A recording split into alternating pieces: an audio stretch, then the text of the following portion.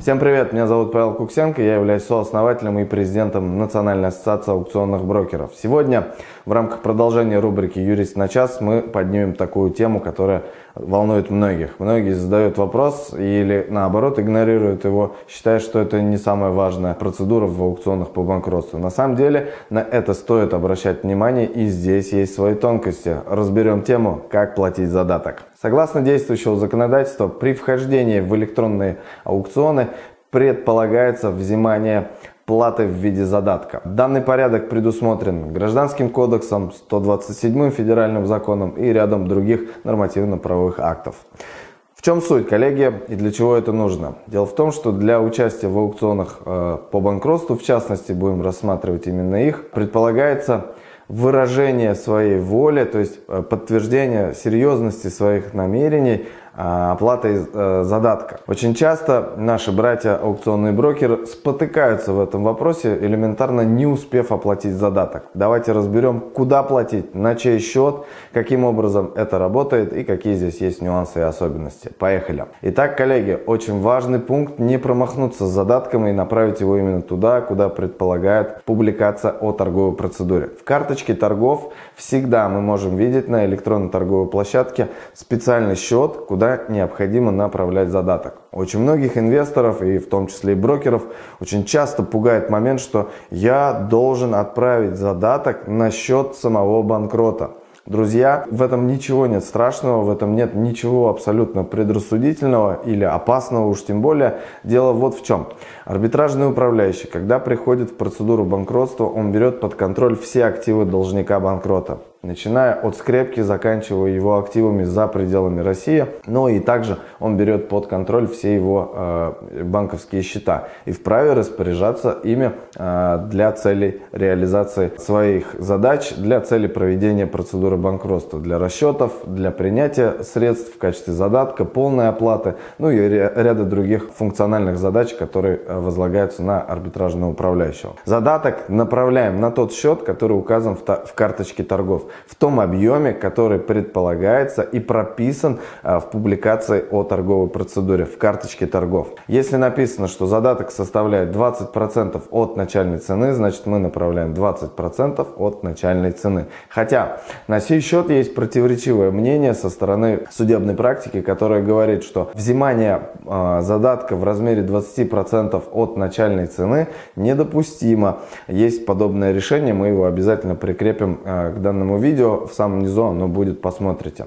Там черным по белому написано, что э, взимание задатков в размере 20% от начальной цены является не совсем законным. Дело в том, что направление задатка от периода, когда мы э, работаем на публичном предложении, вот это актуальная информация, и именно на это мы можем уповать. Но мы говорим о бизнесе, и э, очень часто, коллеги, вместо того, чтобы э, спорить, вместо того, чтобы потом судиться, ходить обжаловать действия, бездействия арбитражного управления, управляющего гораздо проще соблюсти то, что написано в э, торговой процедуре. Очень часто бывает так, что арбитражные управляющие каких-то нюансов не замечают, э, не следят за тенденциями законодательства, делают по наитию или так, как кто-то им подсказал и так далее. А вообще, э, насколько я знаю, очень многие арбитражные управляющие пользуются услугами своих помощников. И эти помощники не всегда тоже компетентны. В этой связи, уважаемые соратники, будьте бдительны, не дайте себя обмануть и будьте корректны при оплате задатков. Очень важный нюанс, еще один, а, о котором не могу не сказать. Задаток мы рекомендуем направлять за 3 дня до подачи заявки, без учета выходных.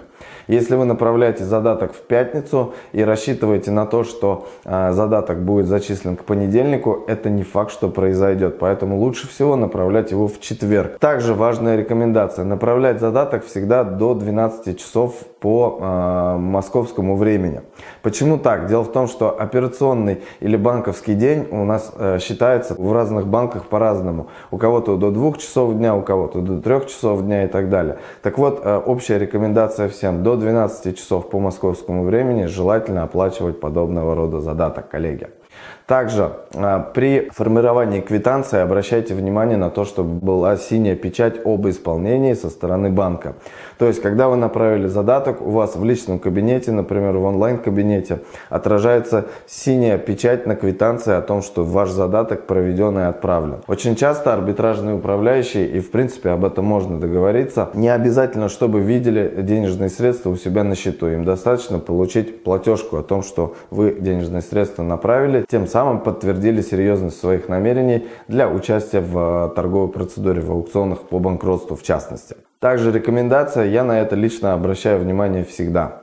Если э, я отправляю задаток на банк э, какой-то мало мне известный, который находится где-то в очень-очень отдаленных регионах России, то это верный знак к тому, что нужно опасаться за свои деньги. Если речь идет о больших суммах задатка, то я бы, собственно, 300 раз подумал, направлять ли. Потому что э, были ситуации, мы с ними, к сожалению, сталкивались. Э, благо у нас в команде подобных ситуаций не было, но я от сторонних брокеров это узнаю все чаще и чаще, что они направили задаток задаток, а у банка отозвали лицензию. Подобные ситуации тоже имеют место быть в нашей практике к великому прискорбию. Очень часто арбитражные управляющие говорят, что мы не знаем, э, мы тут ни при чем, э, у нас лицензии у банков отзывает Центральный банк, э, предъявляйте претензии там, ВСВ, в Центральный банк, кому хотите, только не ко мне. Но мы возвращаемся к 127 федеральному закону, в частности статья 110, пункт 15, коллеги, здесь черным по белому прописано. Суммы внесенных заявителями задатков возвращаются всем заявителям, за исключением победителя торгов в течение пяти рабочих дней со дня подписания протокола о результатах проведения торгов. Иными словами, уважаемые соратники, после того, как вы а, поучаствовали в аукционе и волю судеб вы не выиграли, к примеру, арбитражные управляющие или организаторы торгов обязаны вернуть вам задаток в полном объеме в указанные сроки. В законе нет какой-то звездочки, нет какого-то упоминания, за исключением тех случаев, если у банка принимающей стороны отозвали лицензию и так далее. У любого СРО есть страховой фонд, деятельность арбитражного управляющего застрахована и так далее. Короче, в законе нет ни единого упоминания о том, что в случае, если там что-то внешние факторы сыграли как-то э, не в нашу пользу, то арбитражный управляющий освобождается от э, возврата вам задатка, либо у него есть какие-то законные э, меры, меры отсрочить возврат данного задатка. Поэтому, если вам подобное говорят, знайте, что действия арбитражного управляющего можно будет оспорить, они незаконны и противоречат действующему законодательству, в частности 127 федеральному закону. Будьте бдительны, не дайте себя обмануть. С вами был Павел Куксенко. Подписывайтесь на канал, ставьте лайки и жми в колокол. Пока, увидимся скоро.